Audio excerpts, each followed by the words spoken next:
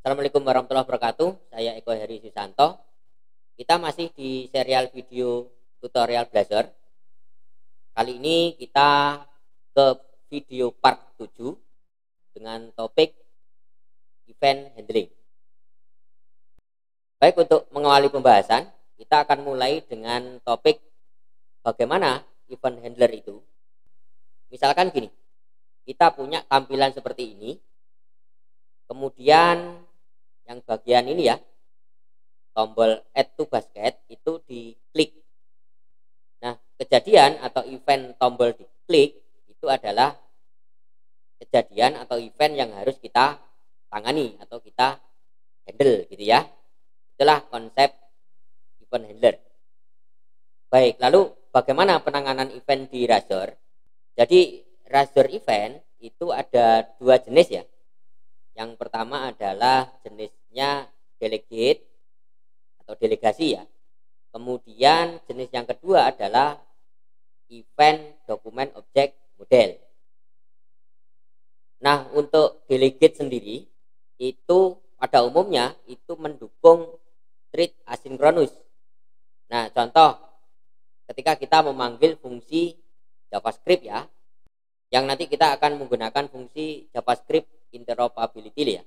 Nah, kalau dokumen objek model atau DOM itu sendiri itu adalah event yang sudah ada di standar HTML gitu ya.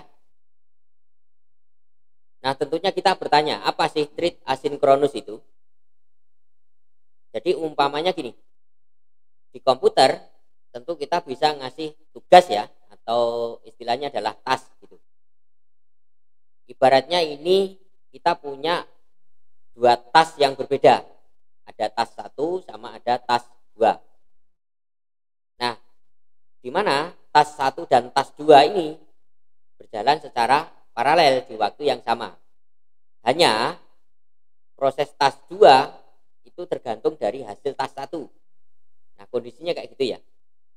Nah, untuk mengatasi hal itu, maka nanti antara tas 1 dan tas 2 ini harus kita bikin asinkronus gitu.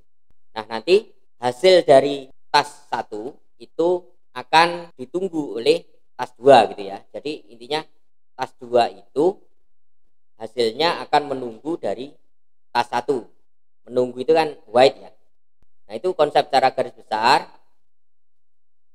Nah, untuk contoh satu nanti akan kita coba bikin event delegate dulu ya yang kita nanti pakai fungsi asinkronus task gitu ya baik untuk lebih jelasnya kita langsung praktek ya. Baik langsung kita start aplikasinya ya.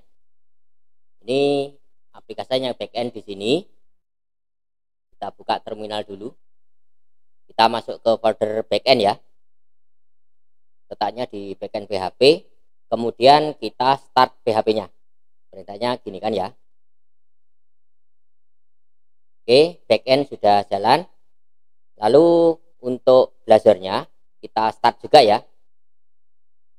Foldernya di sini di home eco blazer blazer app ya. Kemudian kita start pakai .NET Watch.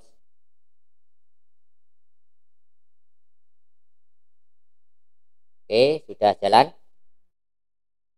Nah, ini linknya. Kita langsung buka di browser ini ya.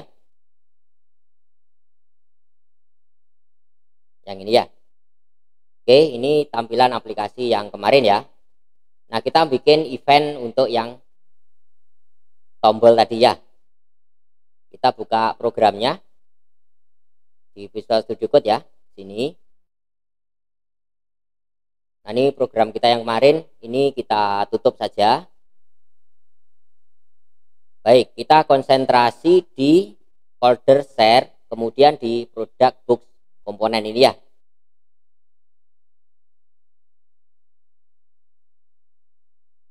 baik. Kita injek dulu JS runtime-nya ya. Kita mau buat JavaScript runtime. Nah seperti ini perintahnya ya. Kemudian di bagian sini button ya yang ini ya itu basket ini. Ini ah, formnya kita nggak pakai ini kita hapus dulu. Kemudian kita rapikan ya. Nah ini add to basket ini nanti kita rubah ya. Ini type submit kita hapus dulu.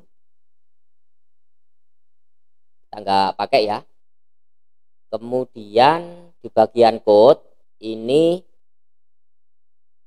kita bikin perintah tas pakai private asynchronous task add to basket gitu ya. Kemudian kita tambahi white. Ini baru kita jalankan JS runtime nya kita tambahi invoke asynchronous. Type nya objek ya. Nah JS runtime itu ada dua parameter parameter yang ini. Ini adalah nama JavaScript yang nanti kita panggil. Kemudian ini adalah message ya. Coba kita tambahkan gini aja ya. Kemudian di sini di button ini kita tambahi add on click. Nah ini untuk manggil eventnya tadi yang add to basket ya oke gini aja sih.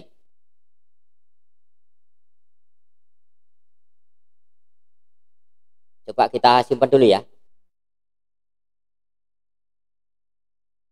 Oke gak ada error.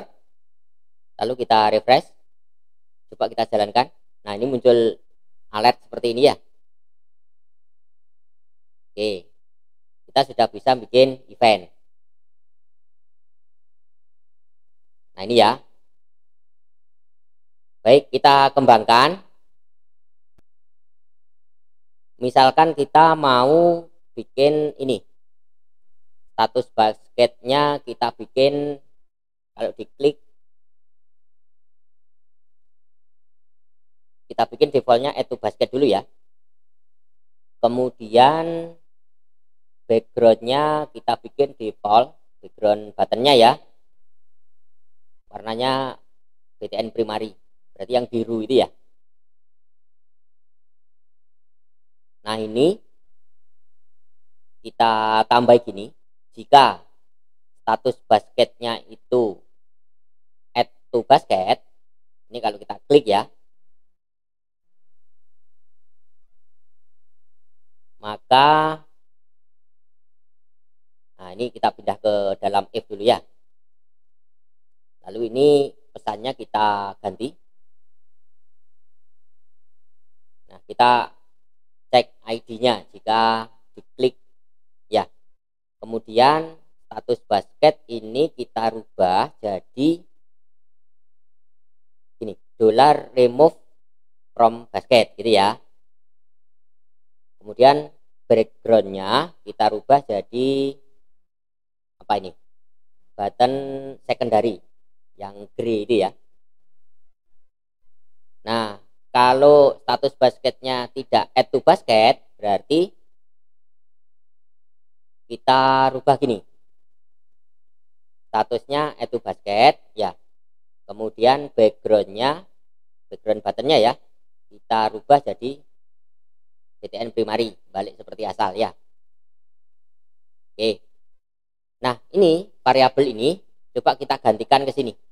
Yang BTN primari kita ganti background button ya. Kemudian yang ini tulisan add to basket kita ganti status basket. Oke coba gini ya. Lalu kita simpan.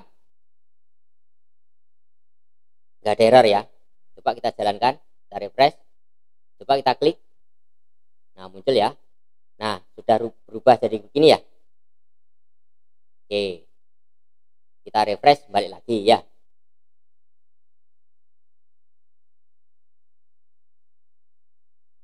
Oke.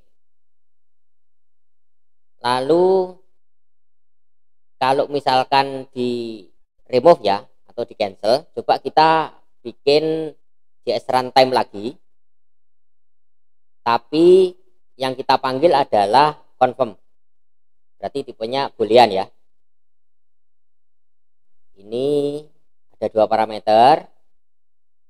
Ini kita kasih confirm gini ya. Kemudian message-nya kita ganti ini. Nah kayak gini ya. Ada kurang? Oh titik komanya kurang ya. Nah lalu kita cek jika oke okay itu statusnya true maka baru status basketnya yang kita rubah gitu ya baik ini coba kita simpan dulu. Kita refresh. Nah muncul kayak tadi. Coba diklik lagi. Nah ini kan ada oke okay sama cancel ya. Ini kita oke okay. nah baru balik lagi kalau kita oke okay ya. Itu sih. Ini tambahan programnya. Kemudian ini nggak perlu kita pakai ya. Kita hapus saja ya. Nah ini manggil metodenya atau manggil eventnya. Ini adalah deklarasi eventnya ya. Baru ini manggil CS runtime invoke asinkronusnya ya. Baik kita coba contoh yang lain ya. Jadi kita coba ke halaman detail. Kemudian di sini coba kita tambahkan untuk ngisi rating ya. Berarti kita siapkan page dulu. Ini ya ini kita buka ke detail produknya dulu di sini. Lalu di bawahnya star rating itu coba kita tambahi button ya. Buttonnya kita kasih caption rating gitu aja ya. Ini sekalian kelasnya saya setting button warnanya button primary ya. Oke jadinya kayak gini nanti kalau diklik baru muncul pop up maunya gitu. Baik untuk itu di page kita bikin pop up-nya dulu ya. Kita kasih nama rating.browser nah seperti ini. Kita siapkan routingnya dulu. Ini routingnya kita kasih nama rating. Tidak lupa parameter. Kita kasih nama ID gitu aja ya lalu kita siapkan page title. Titelnya kita isi apa ini? Rating gitu aja ya. Oke kemudian baru kita bikin kontennya ya.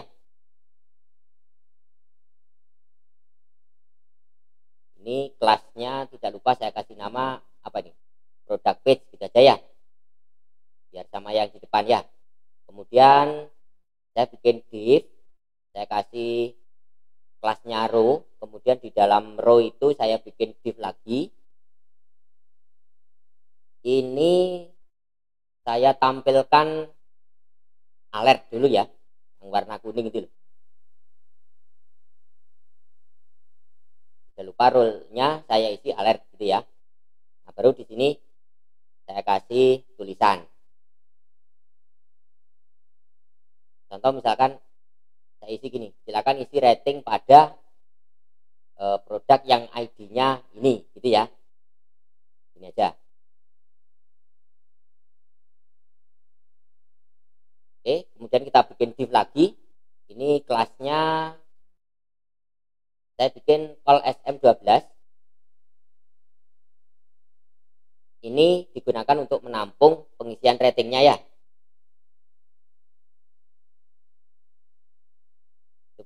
star ratingnya tak tampilkan dulu ya. Yang pakai i kemarin ya yang kelasnya OI OI star yang ini kan ya. Ini biar cepat kita copy aja ini.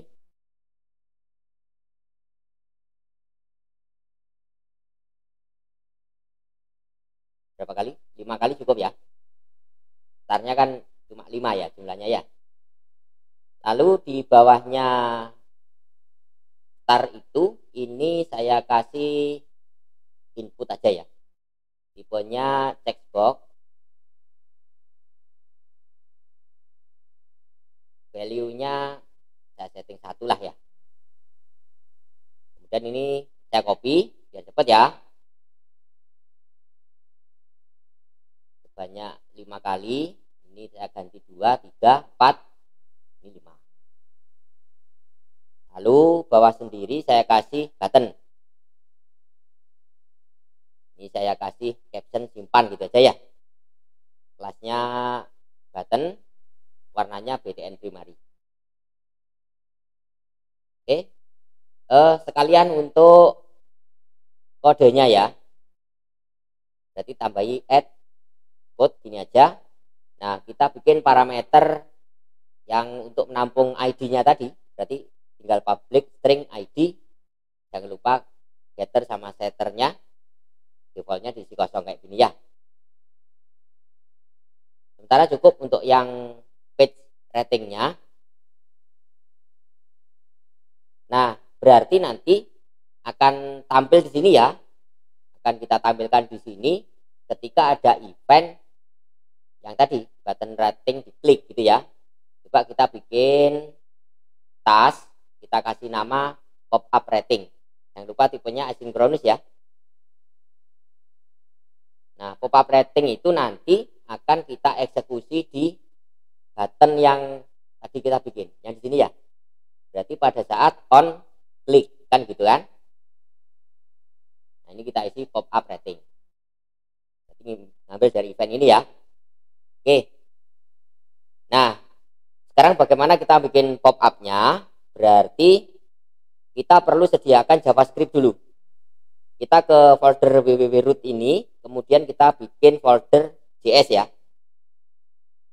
Lalu baru di dalam js kita bikin file katakanlah kita kasih nama myscript.js kayak gini.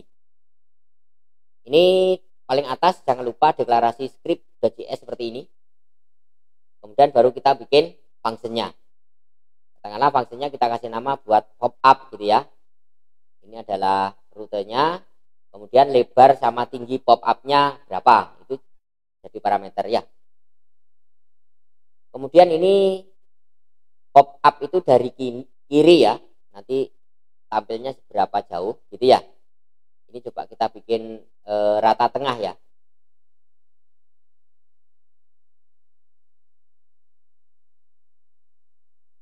ini dibagi empat ya? Nah gini aja.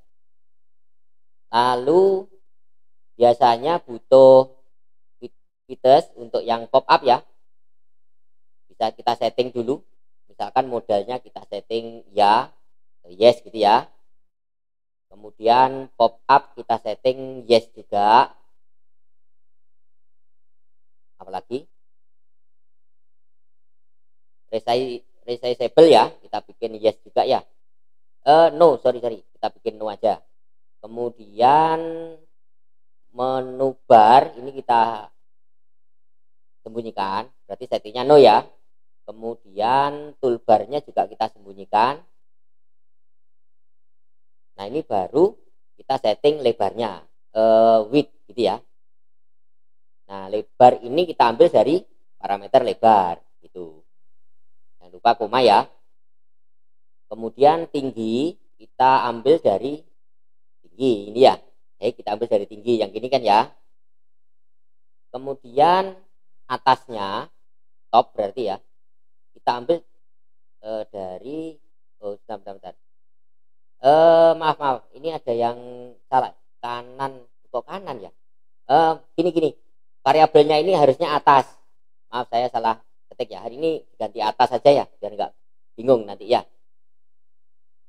Kemudian baru kirinya saya ambil dari itu kiri gitu ya. Jadi untuk fitusnya nah sekarang kita panggil javascript window open. Ini adalah url nya ini captionnya kemudian baru ini fitur dari pop up nya tadi.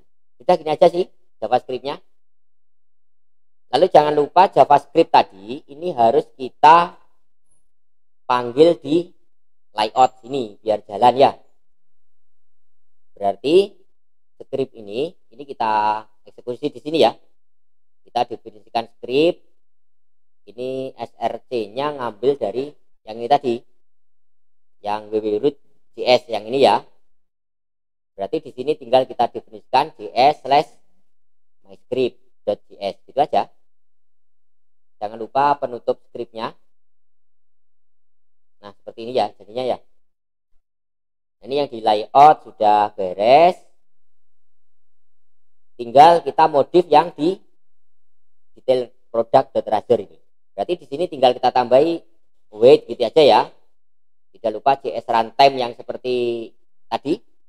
Kemudian invoke asinkronus jenisnya objek kemudian ini baru fungsi javascriptnya yang ini yang buat pop up ini. Serta parameter yang lain ya. Eh, URL-nya berarti isinya adalah ke rating tadi ya. Kalian kita tambahi ID-nya ya. Lalu lebarnya kita bikin berapa nih? 600 saja ya 600 pixel. Tingginya 240 pixel udah gini aja sementara. Kita simpen. Oh ada error apa nih uh, tem dot. Oh titik. Oh ini loh. Harusnya white ini nggak perlu titik ini. Ini aja. Maaf salah ketik ya. Oke. Ada yang error lagi? JS runtime does not exist. Kok nggak dikenali ya? Oh ya lupa. Ini belum diinjek yang tadi kan di product book ini ya yang ada yang ini kan belum diinjek ya yang JS runtime. Ini jangan lupa diinjek ini. Nah ini biar ini jalan ya. Oke sudah nggak ada error? Coba kita reload. Lalu kita klik. Muncul ya. Cuma ini apa nih sorry nothing at address oh ratingnya ini kurang slash nah ini ada yang salah ketik lagi harusnya belakangnya rating sebelum ID ini ada slashnya ya coba Loh kok masih error lagi? Ini sudah benar kan? Coba-coba. Di rating rating.razer. Oh ini, ini, ini, ini. Ya ini, ini juga kurang slash ini. Ini harusnya setting router itu harus ada slashnya ya paling depan ya. Nah, sudah. Tampilkan kayak gini. Cuma ini, ini kok jadi ikut ya. Ini harusnya kan nggak ada yang ini ya. Berarti kita harus bikin layout yang layout itu kosong gitu layout yang kosongan yang nggak ada menunya gitu maksudnya nah, kita bikin empty layout raster ya jangan lupa di sini kita tambahi inherit layout komponen base. Kita turunkan dari situ ya layoutnya ya. Kemudian baru kita bikin div. Kelasnya ini kita kasih nama main gini. Ini jangan lupa ditutup divnya. Kemudian ini kita bikin div lagi. Ini kelasnya kita bikin e, konten gitu ya. Px4 nah seperti itu. Baru di sini kita tuliskan body add body seperti ini nanti ini untuk render yang rating tadi ya nah ini tambahan layoutnya Nah, berarti di sini di rating rating.razor ini kita tambahi add layout, ini kita arahkan ke empty layout yang barusan kita bikin. Yang ini ya. Nah, ini biar nggak ikut layout yang defaultnya gitu. Ini minta di restart ya. Kita restart aja lah ya. Oke, sudah selesai restart. Coba kita reload lagi. Nah, kan muncul seperti ini. Nah, ya, kopanya sudah nggak ikut tampilan awal kan ya. Oke, seperti itu contohnya ya.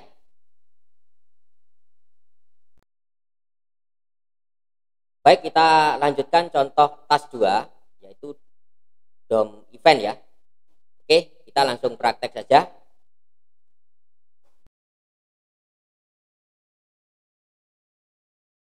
tinggal coba yang in stock ini kita rubah.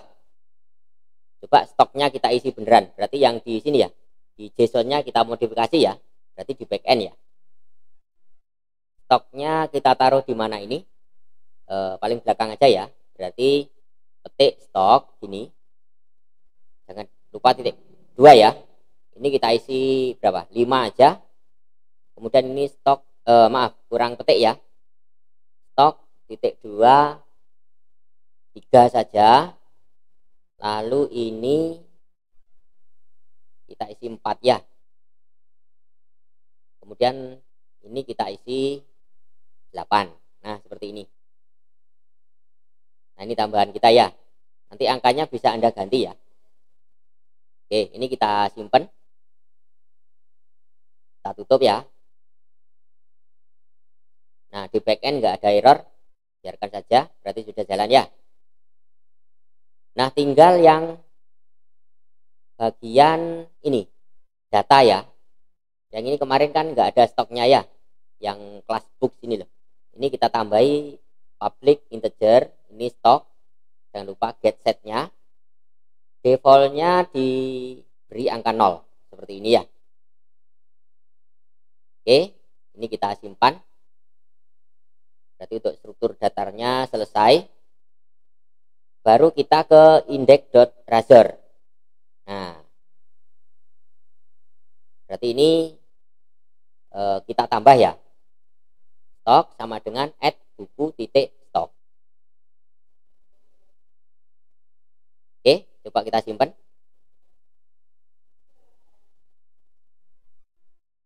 E, error ya? Apa ini errornya? Dasar set product book component does not have property matching stock? Ya karena di produk books komponen properti stoknya belum ada. Berarti ini harus kita tambah ya. Tambahi parameter gini public integer stok jangan lupa get sama set. Defaultnya 0 seperti ini ya. Coba kita simpan dulu. Oke kita tekan Y saja biar dibuat ulang ya. Nah nggak ada error. Berarti ini tinggal kita ganti yang ini ya. Ini kita hapus saja ini. Kita sisakan P gini aja ya. Oke, kemudian kita tambahi in stock, add stock gitu ya. Berarti stoknya kita tampilkan ya. Coba kita cek, nggak ada error. Kita refresh. Nah, ini muncul. Stoknya 5, 3, 4, 8 ya sama dengan backend ya oke berarti coba ini kita tambahi paragraf ya. Di mana di sini kita tambahkan button. Nanti supaya orang bisa membeli jumlahnya berapa gitu ya. Ini button yang pertama kita isi minus kemudian ini ada input. Type-nya kita setting text saja. Value-nya sementara kosong dulu ya kemudian stylenya width-nya kita setting 40 pixel. Kemudian text lain kita setting rata tengah ya atau center ya. Kemudian kita tambahi button. Nah ini kita tulis plus. Oke. Nggak ada error. Nah ini munculnya kayak gini eh mana ini ini kurang ke bawah ya. Berarti buttonnya kita tambah style saja. Ini kita setting margin topnya kita isi 5 pixel ya. Biar ada jarak 5 pixel dari atas ya. Nah kayak gini ya. Oke. Berarti kita coba nambahi event di sini. On klik ya kita bikin event namanya minus minus ya. Kemudian yang plus ini kita bikin event namanya plus. Kayak gini ya. Oke berarti di bawah sini ini kita bikin variabel dulu. Katakanlah kita kasih nama jumlah. Defaultnya kita setting satu dulu ya. Kemudian baru kita definisikan private void. Ini eventnya minus tadi. Baru kita cek jika jumlahnya lebih satu jika jumlah lebih satu ya maka jumlahnya dikurangi satu. Itu nah untuk yang plus berarti tinggal kita cek juga jika jumlahnya kurang dari stok selama jumlah kurang dari stok ya maka jumlah ditambah satu. Jumlah sama dengan jumlah tambah satu ya. Seperti itu ya. Nah ini baru value nya kita ganti jumlah. Itu aja sih. Coba ya kita simpan ya. Oke nggak ada error. Coba kita refresh. Nah kan defaultnya berisi satu semua ya. Coba kita klik ini. Nah akan nambahkan. Nah. Nah seperti itu ya. Oke oke seperti itu. Coba kita oke nambah lagi ya. Nah seperti itu programnya. Jangan lupa ini tambahannya ya sini. Kemudian di indeks kita tambah ini. Kemudian di produk komponen kita tambahi stok ini tadi sama yang ini. Event minus sama plus ini ya. Sama jangan lupa value nya jumlah. Seperti ini ya. Oke nah ini tambahan kita ya.